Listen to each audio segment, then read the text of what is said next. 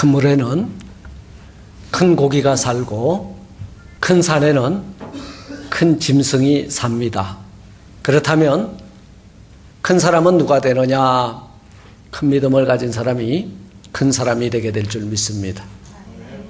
여러분, 위대한 사람은 위대한 믿음이 만들어내요. 그래서 저는 오늘 열왕기 하 2장 1절로 9절 말씀 특별히 1절에서 3절까지를 중심으로 해서 큰 사람, 큰 믿음이라고 하는 주제를 가지고 함께 은혜를 나누고자 합니다.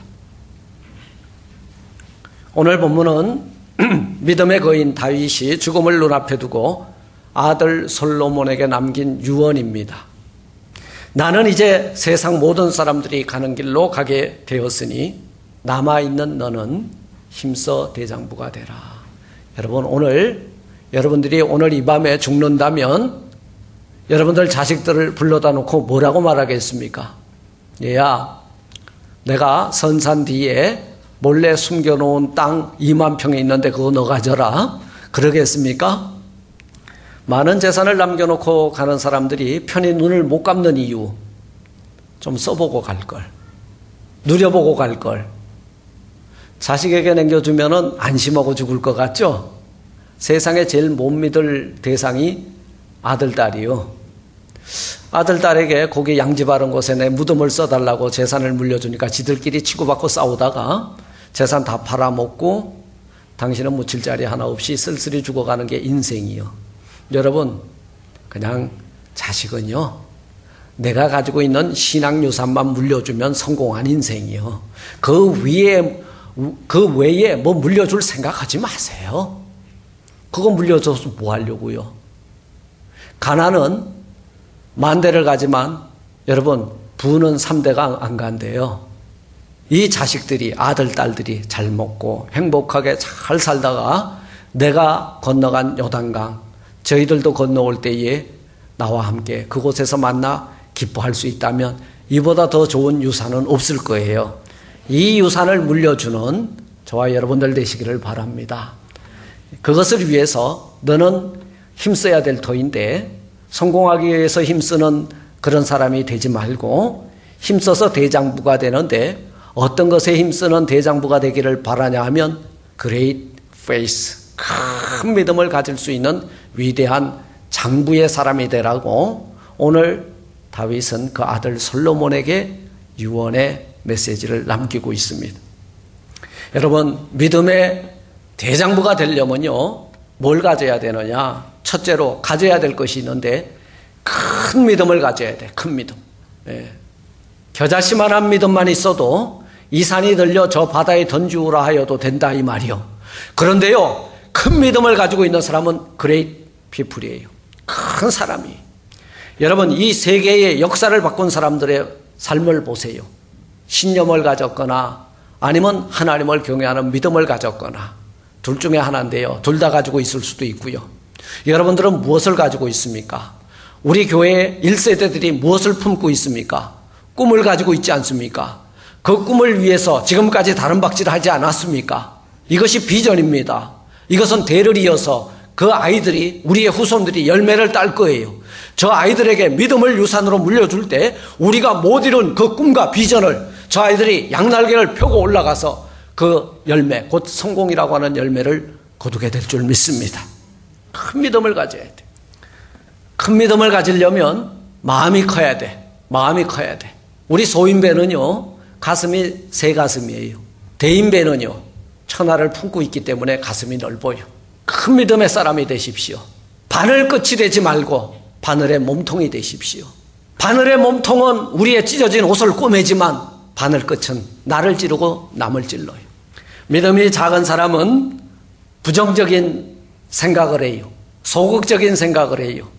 그리고 믿음이 없는 사람은 인간적인 생각만 해요. 그런데요, 큰 믿음을 가지고 있는 사람은 파지티브 띵킹을 해요. 그리고 이 긍정적인 생각만 할 뿐만 아니라 행동도 긍정적이에요. 네가티브의 신앙을 가지고 있는 사람들은 매사가 불만입니다. 그런데요, 긍정적인 믿음의 능력을 가지고 있는 사람은 매사가 감사예요. 범사에 감사하라. 감사가 나와요.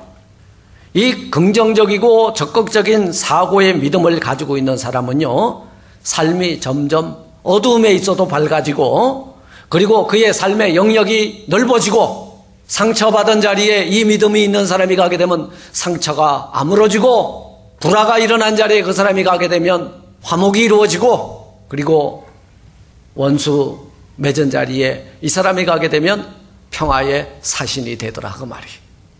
큰 믿음을 가져야 돼. 다윗은요. 다윗 그러면은 꼭 두 인물이 저는 생각이 나요. 한 사람은 친구였던 요나단. 또 한 사람은 날마다 다윗만 보면 잡아 죽이려고 혈안이 되었던 사이코패스 이스라엘의 일대왕 사울. 그런데요. 사울왕은 적극적인 긍정적인 그런 믿음의 사람이 아니라 어찌 보면 시작은 성령으로 시작했지만 끝은 인간적인 생각으로 마감한 사람이 그의 눈에 사울이 죽인 자는 천천히요 다윗이 죽은 자는 만만이다 하니까 그만 시기 질투심이 들어와서 다윗만 보면 자기 사위인데도 불구하고 맨날 죽이려고 혈안이 되어 있었다는 거예요. 악신에 사로잡혔다 그 말이요. 여러분 부정적인 사고 그리고 불신앙 이건 악신에게 사로잡힌 사람들의 삶의 모습이에요. 성령에 사로잡히면 범사가 감사야. 성령에 사로잡히면 원수까지도 용서해. 아버지 내가 죽일 수도 있는데 내가 죽이지 않았습니다. 내 앞에 세운 왕이기 때문에 기름 부음 받은 종이기 때문에 내가 함부로 하지 않았습니다. 원수까지도 품을 수 있다는 거예요. 사랑으로 미움을 이기고 선으로 악을 이기는 이 믿음의 사람이 큰 믿음의 사람, 이런 사람이 위대한 사람이라는 거예요. 다윗이 그래서 큰 믿음의 사람 대인배라면 사울은 찌질남 소인배라는 거예요. 여러분 우리 남자들한테 찌질남 그러면요 제일 큰 욕입니다. 지금 현대 사회에서. 그런데 미안해요. 다 찌질하기 때문에 찌질남 그러면 화가 나는 거예요. 예수 없는 인생들 찌질한 거예요. 예수 그리스도는 나의 힘이고 나의 능력이에요. 그분이 우리를 붙들어 주시면 우리는 믿음의 사람이 되고 이 믿음을 여러분 가지고 있는 사람이 행하는 일, 큰 일인 줄 믿습니다. 이게 큰 일을 행하는 사람이 큰 사람이에요.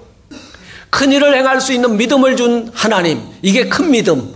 큰 일을 행하는 사람이 큰 사람. 이 일을 통해서 하나님은 오늘도 일하시는 줄 믿습니다. 아버지께서 일하시니 나도 일한다. 너희들도 이 일을 하라. 그 일이 뭐냐? 천하 만민을 구원하는 일이에요. 죽어져가는 영혼을 구령하는 일이에요. 이보다 더 가치 있는 일이 어디 있겠습니까? 여러분 세상에 가장 가치 있는 일은 죽은 영혼 살리는 일이에요. 일전에 국제상공회의소에서 뽑은 세계에서 가장 뛰어난 인물 10사람 중 한 사람 앤소니 라빈스라고 하는 사람이 있는데요. 이 사람은 학력, 우리 스펙이 별로 없어요. 우리 대한민국 사람들은 스펙을 좋아해요. 이 사람 고졸 출신이에요.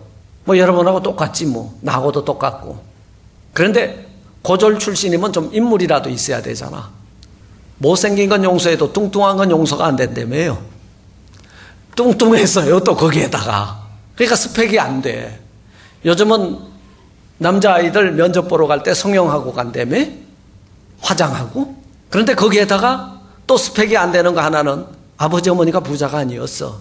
물려받은 게 뭐였어요? 가난이라는 거예요. 이 보니까 외형적인 스펙을 보니까 찌질남이야.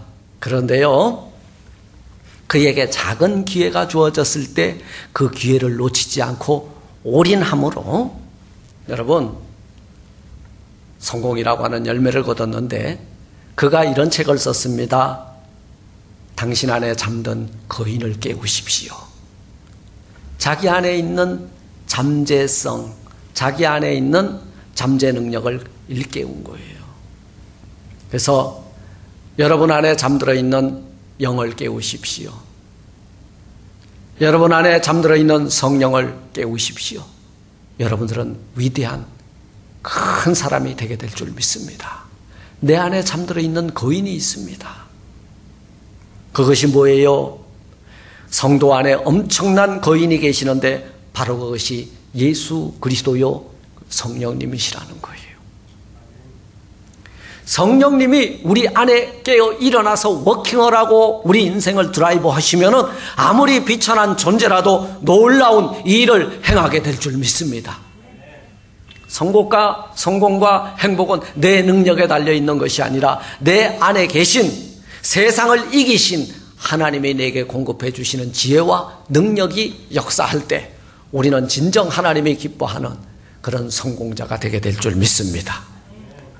큰 믿음, 큰 사람이 되려면 우리 생각이 커야 되고 그리고 큰 믿음을 내 가슴에 소유해야 된다. 둘째는 그러면은 큰 믿음을 가지려면 어떻게 하면 되느냐? 큰 마음과 가슴을 가져야 돼. 잠언서 4장 23절에 이런 말씀이 있습니다. 무릇 지킬 것, 지킬 만한 것보다도 더욱 내 무엇을 지켜라? 내 마음을 지켜라. 생명의 근원이 이에서 남이니라. 여러분, 하나, 하나님께서 우리에게 부어주신 영생의 축복은요, 머릿속에 있지 않아요. 우리의 생활 속에 있지 않아요. 내 심장 속에서 워킹한다 그 말이에요. 영생하길 원하신다면 여러분 심령 가운데다가 여러분 심장에다가 우리 주 예수 그리스도를 모셔드리길 바랍니다. 그러면 큰 일이 일어나는데요. 죽을 수밖에 없는 내 인생이 영원한 생명을 소유하게 되고 그 영원한 생명의 심장 박동이 주야로 여러분들을 교훈하게 될 줄 믿습니다. 그리스도의 심장이 내 안에 들어와서 뛰게 되면요. 그분은 죽지 않습니다. 이것이 영생이에요. 마음은 생명의 근원이에요. 넓은 마음을 가질 때, 그리고 그 넓은 마음 속에 예수 그리스도의 심장, 곧 그리스도의 예수의 마음을 품게 될 때, 그 안에서 예수님의 피가 요동을 치기 시작한다는 거예요. 이게 생명의 능력이에요. 넓은 마음, 넉넉한 마음, 큰 믿음, 큰 마음, 큰 가슴을 가지게 되면 그 안에 우리 주님이 흘려주신 보혈이 들어가서 워킹을 한다 그 말이에요. 그럴 때 이 큰 믿음은 우리를 영원한 생명의 세계로 이끌어 주실 줄 믿습니다. 다윗은 자기를 죽이려고 하는 원수들을 다 품었어요. 사울도 품었고 아브넬 장군도 품었고 배은망덕한 아들 압살롬도 품었고 자기 죄를 책망한 나단 선지자도 품었고 피난길에 자기를 저주하던 시므이도 품었고 요나단의 사랑을 품었고 그리고 사울가에 다 죽고 쩔뚝바리로 하나 남아 있는 그 무비보셋을 찾아서 품었고 그러나 품지 못하였던 사울 가문은 몰락을 당했지만 세상에 있는 모든 것들을 품을 수 있는 큰 가슴을 가졌던 다윗은요 위대한 성군이라 후손들에게 칭송을 받았고 하나님 앞에서는 날마다 회개의 눈물로 침상을 적시며 하나님 보시기에 의롭다 인정함을 받은 큰 믿음의 삶을 살게 된 줄 믿습니다. 이렇게 우리도 다윗과 같이 큰 가슴, 큰 믿음 가져서 흥황하고 번창의 복을 받아 누리는 저와 여러분들 되시기를 주님의 이름으로 축원을 드립니다. 자, 큰 사람이 되려면요. 큰 사람이 되려면 큰 믿음을 가져야 되는데 큰 믿음을 가지려면 뭐가 커야 돼? 손이 커야 돼, 손이. 손이 커야 돼. 우리가 아이들이 태어날 때 움켜쥐려고 옵니다. 그런데 갈 때는 뭐예요? 다 놓고 간다고 손을 펴고 가요. 사람이 죽으면서 손을 오그리고 죽는 사람은 보기 쉽지 않아요. 다 놓고 갑니다. 그런데요, 죽음이 임박해 있는 것처럼 사심은 욕심을 버릴 수 있어요. 너무 움켜쥐려고 하지 마세요. 내려놓는 거 연습하시고 그리고 오그린 거 펼 수 있도록 준비하시길 바랍니다. 예. 오그라도는 손은, 손은 큰 손이 아니에요. 큰 손은 펼치는 손입니다. 큰 손은 봉사하는 손입니다. 큰 손은 구제하는 손입니다. 큰 손은 헌신하는 손입니다. 큰 손은 손 대접하기에 힘쓰는 손입니다. 그런데요, 작은 손은 뭐예요? 움켜쥐려고 덤벼드는 소인배의 손이라는 거예요. 사랑하는 성도 여러분, 우리는 이 세상에 잠시 왔다가 잠시 후에 떠날 존재들입니다. 그러므로 이 땅에 있는 잠시 있다가 없어지는 것에 목숨을 두지 마시고요. 영원한 것에 더 마음을 두는 큰 마음, 큰 믿음, 큰 손이 되시기를 주님의 이름으로 축원합니다. 어느 날 미국에 한 가정에서 있었던 이야기인데요. 그 집에서 애완용 거북이를 키우다가 거북이가 그만 질식을 했는지 목에 뭐가 걸렸는지 덜컥 죽고 말았어요. 어머니가 슬퍼서 울고 있는 아이를 위로합니다. 얘야, 우리가 양지 바른 곳에 이 거북이 묻어주고 그리고 너무 슬퍼하고 있는 너를 내가 위로하길 원한다. 친구들을 전부 불러라. 오늘 집에서 어, 거북이 그 초상을 치르고 그리고 친구들을 불러서 파티를 하자. 바로 그때 죽은 줄 알았던 거북이가 하고는 다시 살아난 거예요. 얼마나 기뻐요? 그런데요. 그 모습을 보고 아이가 갑자기 외친 거예요. 맘, let's kill him. 죽여버리자. 아니, 이게 왜 살아나? 파티 날라가게 말이야. 예. 네, 혹시 우리도 이와 같은 사람은 아닌가? 파티에만 관심을 두고 있는 사람들은 아닌가? 많은 사람들이 하나님을 믿는다고 하지만 이 아이처럼 믿어요. 주님을 사랑하는 마음과 하나님의 뜻과 사명과 사랑의 섬김과 영혼 구원에는 관심이 없고요. 과자 파티에만 관심 있는 종교인들은 아닌지 오늘 자기 자신을 한번 살펴보는 저와 여러분들 되시기를 바랍니다. 과자 파티에만 관심 있으면 오그라드는 손이고요. 큰 손이 아니에요. 큰 믿음이 아니에요. 큰 믿음을 가지려면요. 큰 마음, 큰 손이 펼쳐져야 됩니다. 사랑하는 성도 여러분, 이제 잘 사는 것보다는 하나님 뜻 안에서 바르게 사는 것을 추구하십시오. 움켜진 손이 펴질 때 나타난 일들을 기억하십시오. 여러분, 베세다 광야에 5천 명이 무리를 지어 앉아 예수님의 말씀을 들었는데 이미 때가 넘었어요. 시장했어요. 먹을 것이 없었어요. 그런데요, 어린 소년 하나가 가지고 있었던 도시락 하나가 그 움켜쥐고 나왔던 그 손이 펼쳐질 때 어떤 일이 일어났어요? 5천 명이 먹고 12강주리가 남는 역사가 일어났다는 거예요. 여러분, 받기보다는 줄줄 줄 아는 넉넉한 펼쳐지는 손들이 되시기를 주님의 이름으로 축원을 드립니다. 움켜진 손을 피게 되면요. 움켜진 손을 펴 보십시오. 한번 펴 보세요. 이거 쥐고 있으면요. 마음에 긴장이 와요. 펴 보세요. 릴렉스. 이게 펴질 때 여러분 또 하나 펴지는 게 있어요. 내 천자가 펴집니다. 눈가의 주름이 펴집니다. 웃다가 생긴 주름하고 근심하며 생긴 주름은 질이 다르대요. 예. 너무 많이 웃고 감사하고 찬송하고 기도하면서 생긴 주름은요, 사람을 온화하게 보이지만, 더 성질 나가지고, 화나가지고, 근심하다가 생긴 그 주름은요, 사람을 추하게 보인다고 그래요. 그래서, 움켜진 손을 피게 되면, 마음도 펴지고, 마음을 담고 있는 가슴도 펴지고, 가슴, 여러분, 가슴이 펴지게 되면, 우리 얼굴에 근심, 걱정에 주름살도 활짝 펴지게 될 줄 믿습니다. 예. 그리고 큰 믿음, 큰 사람이 되려면요, 말씀에 순종하는 삶을 살아야 됩니다. 오늘 3절 말씀에 보니까 내 하나님 여호와의 명을 지켜 그 길로 행하여 그 법률과 계명과 율례와 증거를 모세의 율법에 기록된 대로 지키라 그리하면 내가 무엇을 하든지 어디로 가든지 형통할지라. 아멘.